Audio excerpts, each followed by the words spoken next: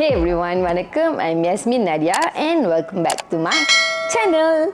So, what's up for this week? For the past, even before COVID lah, I have been planning to do this video. You can see in the title, right? How to drape a sari. So I've been planning and planning and planning. It didn't happen. So every time I want to work with someone, you know, things like COVID happen and then everyone got busy. So and then I decided, okay, I should just do it with Amma. So when I wanted to do it with my mom, Amma is a bit camera shy, but that's not the reason why I couldn't do it with her today because she's been busy and she's also not feeling well right now. I thought, okay, this year by end of February, I should be able to do this video, which is sari draping, how to drape a sari because many of you all have asked me, Akka, where you bought your sari? Akka, where you get your blouse done? Akka, how to drape a sari? So this video is going to be very basic sari draping video. I immediately thought, okay, I should just ask Keevan because I worked with him, always worked with Div- Divian and also Keevan. They both are, of course, my favorite. So I just immediately messaged Keevan and asked him, checked with his schedule whether or not it will clash. He immediately said, okay, Akka, I'll come and do it for you this week. I was so happy until today I was thinking whether or not it will happen. And it happened. So Keevan is here.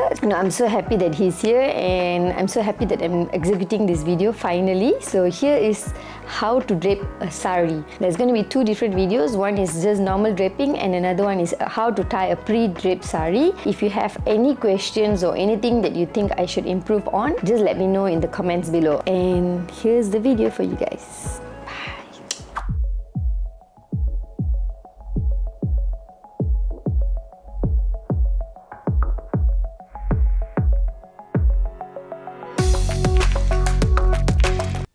Okay, so now this is the part that we are going to do the koswam.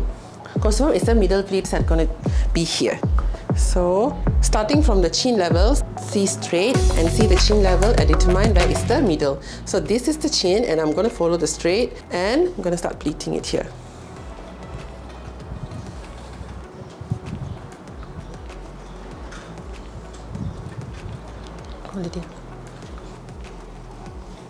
Question. If I'm going to wear heels, are you supposed to wear heels and then Yes. tie sari, is it? If you're wearing heels, you have to uh, wear the heels, then only you have to tie the sari.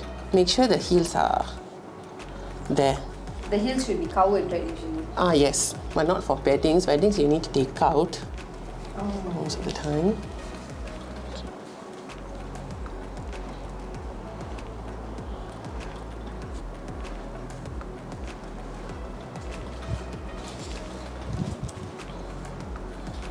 How many pins? Usually three. Normally, these three pins are very, very important that you cannot remove at all.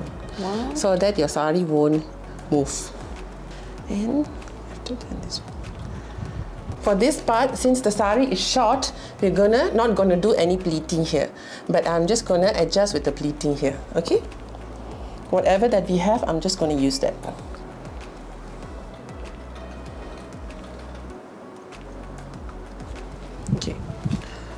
Now, make sure place it in the middle and tuck this part. Make sure this part is clean and tuck it in. in.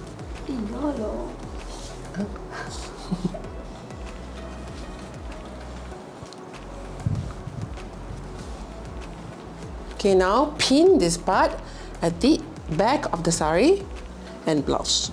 Pin here so that it, there won't be any pins at the front. Uh-huh.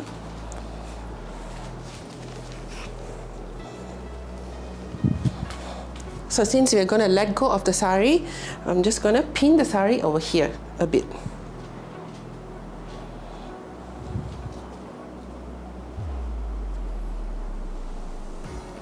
And up. So this part you have to pin it and skirt, uh, pin it together with the skirt. This pin must be at the back, not from the front. Dress Mary. I think with sari you can make a dress already. Yeah. Right. Now at the end, arrange all the pleats here neatly and make sure everything is even. Then the sari is done. Make everything even because I was given. so cantik. So this will stay longer. Uh, if you pin it properly, it will stay longer and it will be sleek. Nice, huh?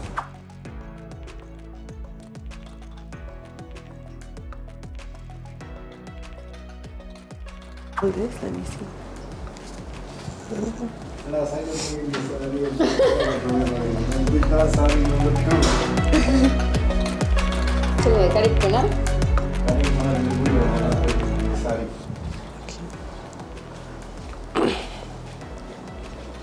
Basically, I don't know where they are better going. So e- uh, earlier we started with the non-pleated sari. This is a pre-pleated sari. That's how we're going to drape the pre-pleated sari. As I said, we're going to tuck in at the pocket line here and go around and hold it in the middle. Now tuck in the rest. So once you already tuck in the rest, take the pallu here and go around. Go around and put it on the shoulder at the same place that we put earlier. You see, this sari is not ironed fully. Pin it together at the end of the on the shoulder. Now pull the inside of the sari and go around.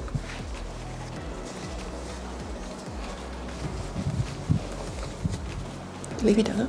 Pull the inside of the sari and go around and pin as tight as you can, 45 degrees across the navel and pin it. And make sure this is in the middle and tuck this part inside. Okay, Naka? saw already right next uni must tell me இல்ல, அவன் யோசிச்சிருக்கேன். Gap இருக்கு, சுருக்க பையன் use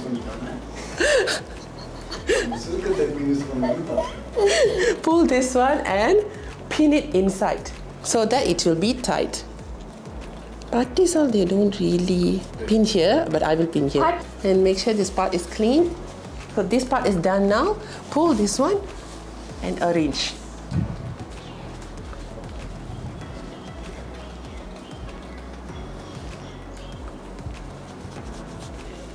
make sure to use a proper safety pin right Yeah. else it will spoil the sari. Or else the sari will be like, it won't stay at the place. The sa- safety pin is very, very important when you drape a sari. If it's not proper, later it will be like, it won't be clean and it will tend to what do you think about you know people use the hair straightener to iron saris Um, hair straightener can be used, but I don't really use because the temperature is very, very important when you handle a sari.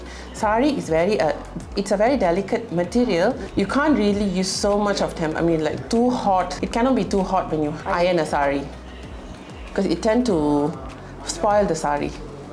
Now we're already done, and I'm just gonna arrange this part and this part. If you all notice, she's wearing a crop top and you don't need blouse to drape a sari. You can wear anything together with it and mix and match. this kind of crop top gives a very corporate look also right Very professional. You can wear a sari for office with this kind of crop tops. You don't have to actually wear a blouse and wear a sari. You can mix and match with normal blouses as well, normal crop tops as well. very nice huh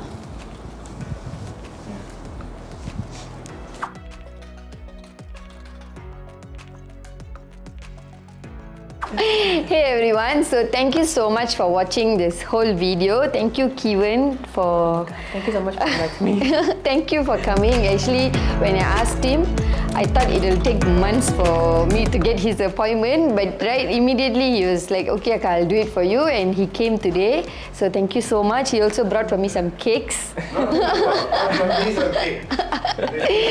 This is my cake. Uh, I know that's for me. Even Thank you for making it for me.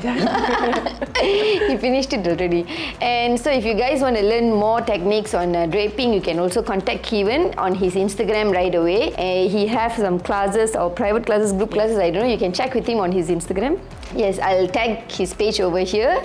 If you have any questions, just drop your comments below. By the way, what did we do? The first one was. Okay, the first one was we did sari draping without any pleating on it. It's like on the spot draping. And the second one will be pre-pleated sari. Basically, we pleated the sari earlier and then we tied it on. Okay, so earlier I thought the sari which is very easy to drape on. The second one is quite, this sari is a bit hard to drape so that you need to pre-pleat the sari before draping it on. The reason is because it is soft, is it? This is uh, considered like semi kanjipuram. So semi kanjipurams need to be ironed. The earlier one is a bit soft silk, so it can be draped on very easily. Sari. Since this is my first ever sari draping video, if you have anything that you think I can improve or I should improve, you can let me know. Probably the angles or video or whatever. But if you have any questions and if you need any tips, keep following us. Uh, keep following Keevan on his Instagram.